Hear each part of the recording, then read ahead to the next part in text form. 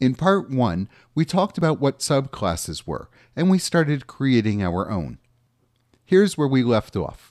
We declared a new class called Moving Car, but to tell processing that this was a subclass of car, we followed the class definition by the words extends car. Now we just make a new class as usual. We have some new instance variables, here the height and color of the moving box.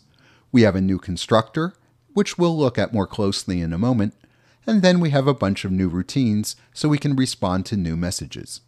Notice that I've included a definition here for render, even though car already has a render.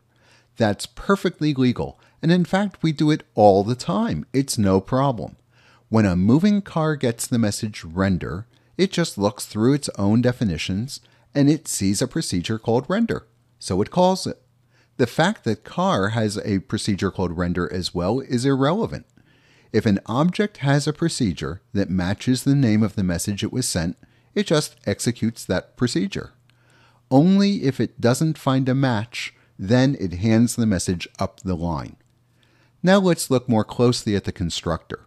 Here I've given it three arguments the color for the car and the height and color of the moving box. The first thing we need to do is to create the little car that conceptually is inside every moving car. You might think we merely need to call the car's constructor and hand it the car's color, like this. In fact, this is almost right, but we don't have anywhere to assign the result. Now we could make a new variable of type car, but then things would start to get messy there's a cleaner solution where the computer handles all the work. Instead of directly calling the car's constructor and then assigning the result to something, we tell processing in effect, call the constructor for my superclass and automatically use the resulting instance when you need to. The way we do this is to use the new keyword super.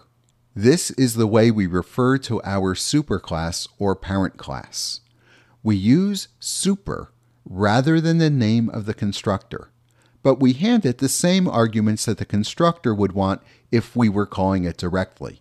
Here, the constructor for a car wants a color, so we hand that color to super. In effect, super calls the car constructor, and it gets back the resulting instance and then automatically wires it into our new moving car. In essence, moving car has now inherited all the variables and all the methods in car. To wrap up the constructor, we then assign the instance variables for the box's height and color in the usual way. Here, I'll just show the height. Now let's take a closer look at render. Of course, I don't want to copy and paste all the drawing code in CAR's version of render. What I'd really like to do is to call the version of render that's in car and let it draw the car. And then this routine will just draw the moving box on top of the roof. So how do I call the version of render that belongs to the superclass? And the answer is to use super again. Remember that super refers to the object that we built by calling the superclass's constructor. So to call the render procedure in the superclass car, we just send the message render to the object super. And we do that in the usual way super.render. If it took any arguments, we'd put them in here. Now this will invoke car's version of render, drawing a car on the screen. And once the car is up there, all I have to do now is choose the box's color for filling and draw the box. Again, the beauty of this is that if I later change how car draws itself, maybe I add a rear view mirror or I put bumpers on the front and the back, all of that automatically shows up in moving cars as well. Now you know how to call any routine in your class or superclass. If the routine is in moving car, just call it like any other routine. If it's in car, precede it with the word super and the period. Note, as usual, there are no spaces around the period. Let's see all of this in action. Here's our car class on the left and the moving car class on the right. I'll start by declaring a variable red car of type car so it's a garden variety car. I'll construct it by calling the car constructor and handing it a red color. This calls the constructor and it returns a red card to me. I can then call render and the car's render procedure runs and draws me a red car. Now let's look into the subclass stuff. I'll declare a blue moving car. To get started, I'll call the moving car constructor, handing it a blue color. The first thing the constructor does is call super with the arguments for the car's constructor. Conceptually, this creates a little car inside of our moving car and wires things together. This is very important, and in any subclass constructor, almost always the first thing you do is call the superclass constructor. That wires everything together. With that done, we then save the local instance variables and we're finished, returning our new blue car. Now I'll send blue car the message render. Since moving car has a render message, that gets executed. And the first thing it does is tell the little car inside of itself to draw itself by saying superclass run your render method. So that render gets invoked and it draws the blue car.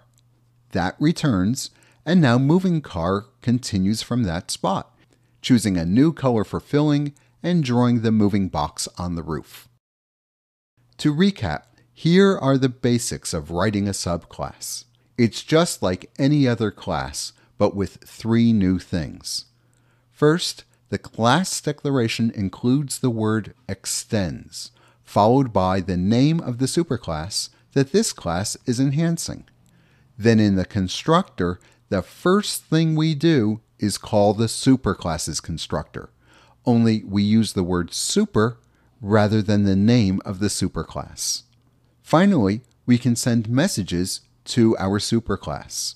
The name of the object representing the superclass object is super, so super.render sends the render message to the superclass instance for this moving car. As I said before, subclassing can get kind of complicated and it can seem pretty subtle when you're first exposed to the idea.